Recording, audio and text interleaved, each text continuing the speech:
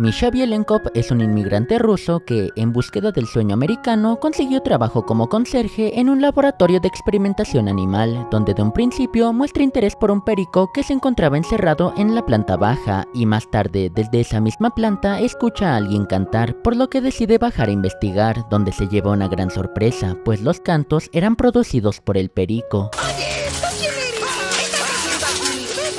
Maika decide investigar acerca del tipo de perico que vio, donde por cierto encuentra una nota con las iniciales MA y usa la información de qué tipo de comida le gusta a los pericos para hacerlo hablar. Sí, mira lo que me has obligado a hacer, me he vendido por un pedazo de fruta. Maika, sorprendido por cómo el perico es capaz de entablar conversaciones y hablar perfectamente el idioma, va con el dueño del instituto donde trabaja a contarle de este suceso. Sin embargo, cuando va a hacer una demostración, el perico no dice una sola palabra. Esto provoca que Maika crea que solo lo imaginó, ya que desde que dejó su vida como maestro de literatura en Rusia se siente muy solitario y solo busca a alguien con quien hablar. Pero entonces el perico responde a sus palabras. Que puedo hablar. ¿Y por qué no lo hiciste? Porque hablar te mete en muchos problemas. Entonces el perico le contará a Maika por qué dejó de hablar en público. Resulta que hace algún tiempo el abuelo de una pequeña llamada Marie le regaló al perico a quien bautizó con el nombre de Polly. Marie y Polly estaban prácticamente todo el tiempo juntos y se querían mucho, además de que tenían una madre muy amorosa. Pero las cosas se complican cuando el padre de Marie vuelve a casa, pues al ser un soldado tenía un carácter muy fuerte y estaba constantemente molesto por el hecho de que Marie no podía articular bien las palabras ya que era tartamuda, cosa que ponía muy triste a Marie. Esto provocó que fuera enviada a sesiones de aprendizaje, a donde Polly siempre la acompañaba, causando que este mismo aprendiera a hablar. ¿Eso quieres? ¿Eso debo hacer? A partir de ese momento, Polly y Marie se complementaban mutuamente, aprendiendo palabras juntos, solo que no hablaba con el padre porque le tenía miedo, y la cosa se complicó nuevamente cuando la familia compró un gato, siendo el terror de Polly durante mucho tiempo. Por otra parte, ya que Marie y Polly pasaban mucho tiempo juntos, su padre se empezó a preocupar de que su hija no tuviera otros amigos. Creo que debemos considerar deshacernos del perico. Algo me dice que estoy a punto de perder mi buen humor. Tras escuchar esto, Marie cree que es momento de enseñarle a volar a Polly, el cual era uno de sus mayores miedos, para que, en caso de que su padre se deshiciera de Polly, este pudiera volver con ella, pero esto provocó que tras un accidente, el padre tuviera una excusa perfecta para lograr su cometido. Marie no podía hablar. El papá no podía escuchar, así que se deshicieron de mí. Después de realizar varios trabajos para ganarse la vida, terminó en una casa de empeño, donde un vendedor de mercancía robada intentaría llevárselo, pero antes de que pudiera pagarlo, se lo gana una mujer con el nombre de Ivy, quien planeaba enseñarle modales, ya que Polly en esa época era muy grosero. Polly le cuenta a Ivy de cómo lo separaron de su dueña, por lo que ésta decide llevarlo a visitarla, pero ahí descubren que la familia de Marie se mudó a Los Ángeles, que está a miles de kilómetros de donde se encuentran, por lo que no podrá llevarlo con ella, y eventualmente cuando se conocen más, Ivy le cuenta que vive en una casa rodante porque planeaba viajar a muchos lugares con su difunto esposo, como al Gran Cañón por ejemplo, pero nunca lograron cumplir dichas aventuras. ¿Extrañas a? Sigue cenando. Como yo extraño a Marie. Esto motiva a Ivy a comprender que nunca es tarde para comenzar una aventura y decide llevar a Polly con su dueña, donde durante el viaje le enseña este mismo de literatura y a volar, pero con el pasar del tiempo la salud de Ivy empezó a deteriorarse hasta que un día esto provocó que estuvieran a punto de estrellarse con un tráiler. Para Ivy las palabras en realidad no tenían mayor importancia. Lo que veía era lo que importaba. Tras este incidente, Ivy perdería la vista, por lo que le dio indicaciones a Polly de cómo llegar con su dueña, pero este decidió quedarse con ella para hacer sus ojos, hasta que un día, inevitablemente, la trágica muerte tocaría a su puerta. Lo que Ivy en realidad me enseñó fue que hay que vivir cada día porque puede no haber otro. Eso sí, parece que Ivy fue muy buena maestra, pues tras su muerte, Polly pudo perfeccionar su vuelo, llegando hasta donde su maestra siempre soñó llegar. Eventualmente, Polly llegaría a Los Ángeles, donde quedaría cautivado por el canto de una periquita. Me llamo Lupe.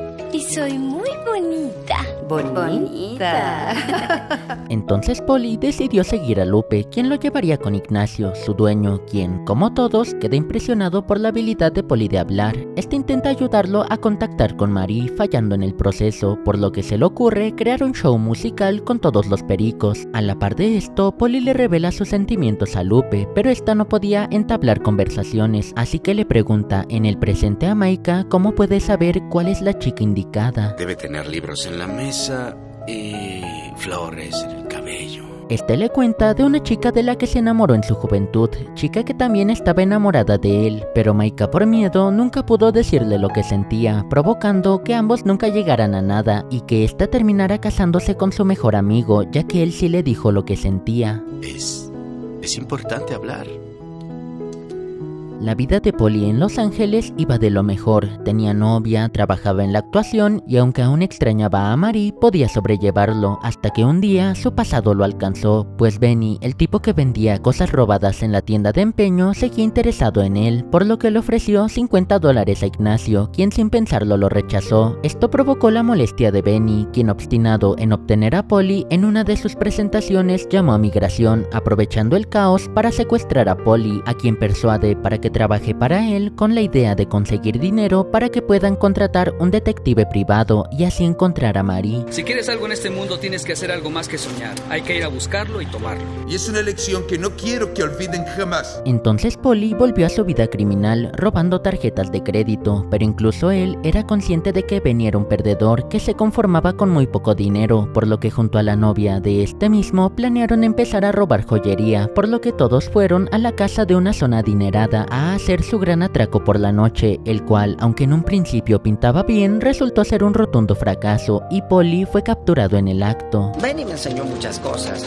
pero hubo algo que no mencionó, que lo que hacíamos estaba mal y que siempre se paga. Y es una elección que no quiero que olviden jamás. El hombre que lo capturó lo llevó al laboratorio de experimentación animal para solicitar ayuda, donde el director lo persuade para quedarse con Polly, ya que querían hacerle pruebas de diálogo cognitivo para ver si se puede romper la brecha del entendimiento entre animales y humanos, prometiéndole que si lo ayuda lo llevará a ver a Marie, pero por la noche Polly escucha que el director ya encontró a Marie, pero no lo llevará con ella ya que lo considera propiedad del instituto. Esto causa la molestia de Polly, quien en una presentación llena de famosos investigadores y reporteros ansiosos por ver sus habilidades de diálogo, toma la decisión de dejar en ridículo al director, comportándose como un perico normal. ¡Galleta! ¿Por qué haces esto? Lo prometiste. Polly intenta huir, pero es atrapado en el proceso y el director, molesto en modo de venganza, decide cortarle las plumas que le permitían volar. ¡Por favor! ¡No! Desde ese día, Polly no volvió a hablar con nadie y fue olvidado en esa habitación. Esta historia motiva a Maika a ayudarlo sin importarle las consecuencias y Polly por su parte decide volver a confiar en un humano. Entonces ambos empiezan a buscar dónde puede estar la dirección de Marie y ahí mismo Maika al escuchar las iniciales de Marie recuerda la nota que encontró en el libro de Pericos que resultó tener el número telefónico de Marie, pero mientras la contactaban llega el director del instituto quien intentó frustrar el escape de Polly. Sin embargo, esto Maika no lo iba a permitir y logran escapar juntos, ayudando de paso a los demás animales que estaban dentro del laboratorio. Soy Mikhail Andreovich Belienkov. ¿Y ustedes? Un mentiroso, un cobarde y un hombre sin modales. Se lo merecía, ¿no es así? Ambos llegan a la dirección de Marie, donde Polly no la reconoce y le teme en un principio, ya que han pasado muchos años y ella creció. Sin embargo, Marie encuentra la forma de que lo recuerde. Eres